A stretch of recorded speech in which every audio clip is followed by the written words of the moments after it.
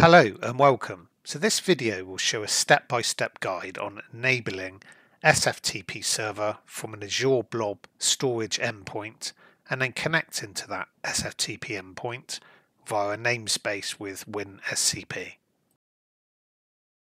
So why would you need an SFTP server? So Secure File Transfer Protocol, SFTP, is a network protocol for securely accessing transferring and managing large files and sensitive data. So most businesses have the need for a secure file transfer system for transferring data and for the ability to connect to an SFTP endpoint securely uh, via SSH using a selection of different clients depending on the application. So it used to be the case where you had to either build a, a virtual machine or a server in, in Azure or on-prem and then install a, an SFTP service on that server, which you then had to patch and manage. Or you could spin up a, an SFTP Azure container instance um, from an Azure template to get a simple SFTP server up and running in Azure. And that was shown in one of my previous videos. So this is an update to that previous video in the Cloud Inspired channel and now this is much easier where you can create a new blob storage and then simply enable SFTP on that storage by a single click and then we can create local users in a container and then set permissions for that user. So let's do this by provisioning a, an SFTP server on Azure Blob Storage and look at the different options available to us for network settings, encryption, and data protection. Enabling the SFTP server endpoint in Azure has an hourly cost together with transaction storage and networking prices for the underlying storage account. Um, so please be aware of this and you'll be charged in your Azure subscription and these are subject to change via Microsoft for using this service known limitations uh, also worth checking out some microsoft documentation there links in the description um, with known um, unsupported clients and preferred client settings and uh, and some unsupported operations um, and some other limitations such as maximum file upload size um, via the endpoint is 100 gig as always, please subscribe to the channel to help it grow, like and comment. Right, let's get started and build an SFTP endpoint. Let's first start by creating our Azure storage and we will create a new resource group for storage to be created in.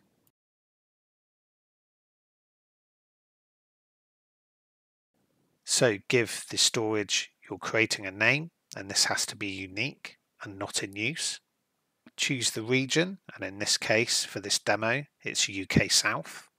For lower latency, we could choose premium storage. However, we will leave as standard and recommended for most scenarios, and we are unable to change the storage type later on once created. For redundancy, we will choose local redundant storage or LRS, which will replicate your storage account three times within a single data center in the primary region. On the advanced tab, we will leave all the defaults for API operations, key access, uh, TLS versions, and copy operations. So we need to enable the hierarchical namespace um, to make SFTP visible as an access protocol. Once we enable this, we can then see the enable SFTP option. And we won't enable network file system, which allows your users to share um, files across a network. We are using this blob storage for frequently accessed data, so we will leave the default for the access tier and we won't enable large file shares. Okay, click next. So for network access, we want to allow uh, public access from all networks and Microsoft network routing. We will lock this down to IP address later on in this video, so only specified IP addresses can connect through the firewall to this endpoint, so it's not exposed to the whole public internet. Data recovery to retain deleted blob, container, and file shares data we will leave as the default of 7 days. Click Next and encryption type we will leave as MMK and support for customer managed keys as default. Infrastructure encryption which is required as a higher level of encryption can't be enabled or disabled after storage has been created so you're unable to change this later on. So then we click next and we review our settings and we create the storage.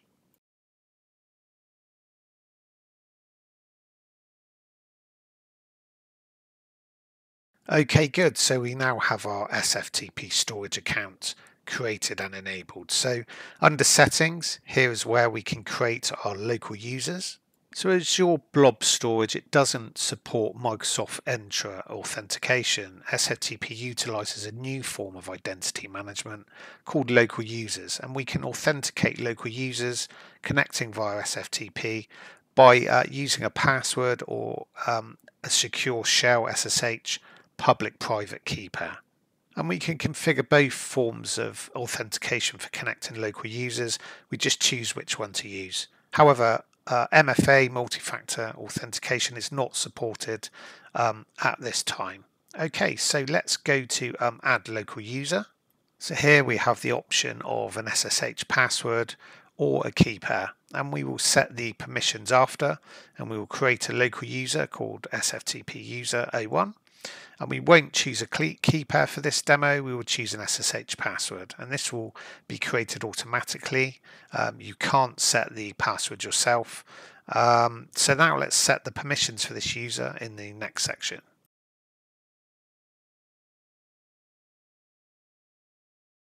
Okay so let's create a new container with private no anonymous access. And for permissions we will choose read write, list, delete, and create. You can set a home directory here too for the user. Um, so the user would connect to that directory when they log in. We won't add a home directory now, um, and then we will copy um, the SSH password automatically created. This will be a, a one-time access, and once the window is closed, you wouldn't be able to access the password again, so you need to copy it now.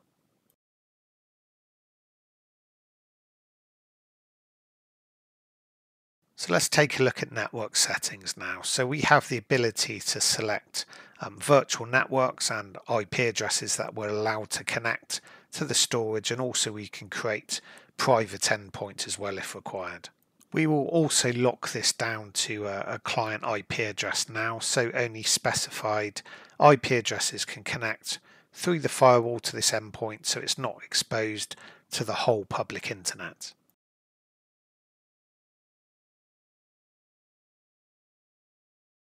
For infrastructure encryption, we can't uh, enable or disable this after this storage account has been created. Azure Storage automatically encrypts all data in this storage account at the service level and it uses 256-bit AES um, with GCM mode encryption. It's one of the strongest block ciphers available. It's also FIPS 142 compliant as well. Customers who require a higher level um, of assurance that their data is secure can also enable 256-bit AES with CBC encryption at the storage infrastructure level for double encryption. But as stated, this needs to be done when the storage account is being created.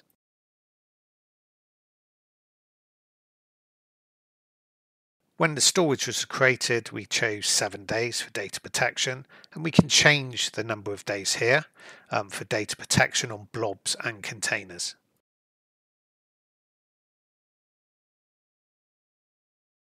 We can change the anonymous access, key access, TLS versions, copy operations and the storage access tier here. And we can also um, enable large files if required once the storage has been created.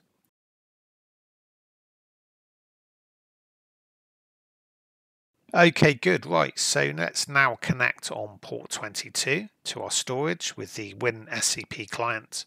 So first off, let's copy the connection string and enter our container name, which in this case is SFTP container. Um, and in the string for username, it's SFTP user01. click login and then paste the password copied earlier.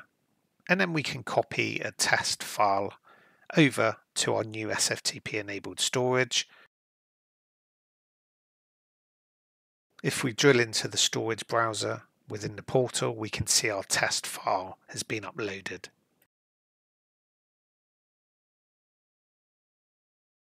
In the activity logs, we can see recent activity and events initiated by each user, and we can enable diags to send log analytics um, and then query the logs here for SFTP container. Okay, there we have it. Hope you enjoyed the video. Thank you very much for watching. Please subscribe and comment and see you all soon. Many thanks. Bye for now.